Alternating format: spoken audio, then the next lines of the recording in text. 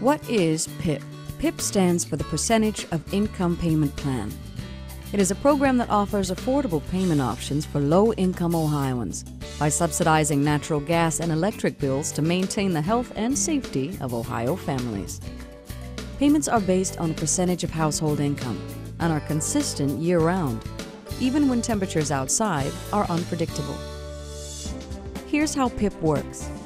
You qualify for PIPP if your electric or natural gas company is regulated by the Public Utilities Commission of Ohio. Your total household income must be at or below 150% of the federal poverty level. That is approximately 36,000 a year for a family of 4. Once enrolled, you must update income information anytime it changes. If your home is heated with gas, you'll have a monthly payment of 6% of your household income for your natural gas bill and 6% for your electric bill. If you heat with electric, your monthly payment is 10% of your household income. The balance of the bill is subsidized by the state of Ohio. If you're behind on your gas or electric bills, PIPP can help you get caught up. If you make your payment on time and in full each month, the amount you owe will be reduced. In fact, if you make 24 in full payments in a row on time, the outstanding balance you have with your natural gas or electric company is eliminated.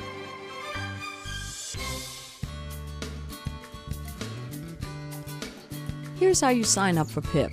You can sign up for PIPP by downloading an application at energyhelp.ohio.gov and mail it in.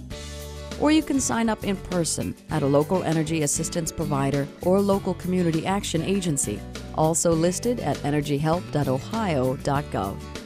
To mail in an application, you will need a copy of proof of citizenship or legal residence and most recent utility bills with the application, a list of your household members, their birth dates, and social security numbers. You will need proof of income for everyone in the household for at least the last 90 days, but the last 12 months is preferred. To apply in person, first set up an appointment at your local energy assistance provider or local community action agency. You can find a list of locations at energyhelp.ohio.gov. While you're on the website, you can also download an energy assistance application form. You can start filling out the application at home, and then, at your appointment, an intake worker will help you with the application and let you know when you might begin receiving benefits. Your anniversary date and your re verification date. When you are enrolled in PIPP, there are very important dates printed on your utility bill your anniversary date and your re verification date. Your anniversary date is the date you signed up for PIPP, and this date does not change. This date is very important.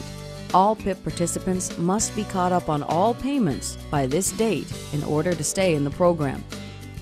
Your re verification date tells you when you must update your income information. This date can change when your household income changes.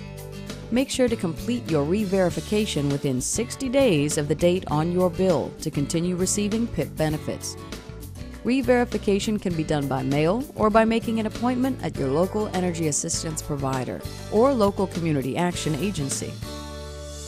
Graduate PIPP. If your income increases, PIPP can still help if you owe a balance on utility bills. It's called Graduate PIPP.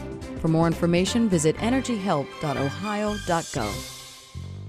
PIPP helps low income Ohioans afford natural gas and electric bills by subsidizing and reducing debt as long as you pay on time.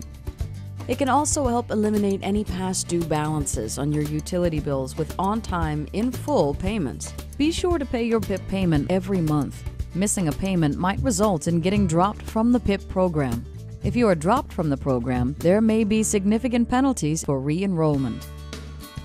For more information about PIPP, you can visit energyhelp.ohio.gov. If you don't qualify for PIPP, there are additional programs that may help. For more information, visit energyhelp.ohio.gov or call 800 282 0880 today.